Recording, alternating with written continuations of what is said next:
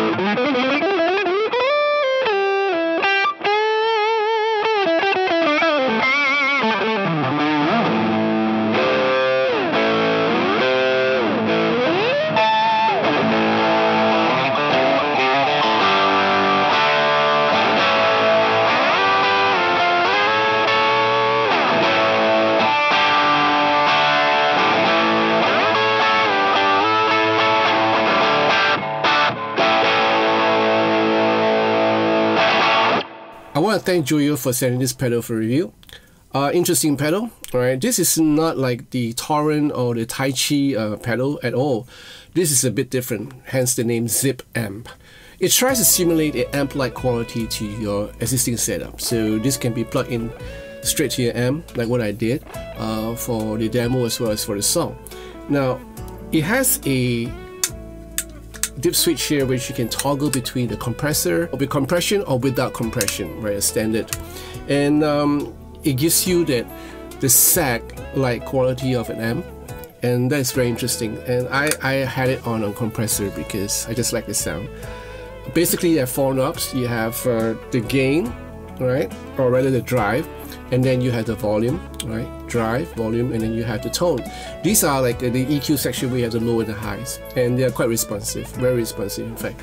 So you can actually tailor your sound to to what you like. And you can actually put the drive down to your minimal so you can get kind of a a, a you know like a, a, a small breakup of an amp sound which is radically different from your amp setup. Meaning you can have uh, this pedal as a auxiliary pedal just to change that whole landscape or the whole palette of sound. Meaning you have the amp and you set it up with, to, to work with other overdrive units and you can actually hit on this pedal just to get another kind of sound if you know my drift. Yeah and once you crank up the drive it gives you a tube-like uh, drive effect and that is really nice for solos you know and for chord work you know for riffs and, and stuff like that. Interesting.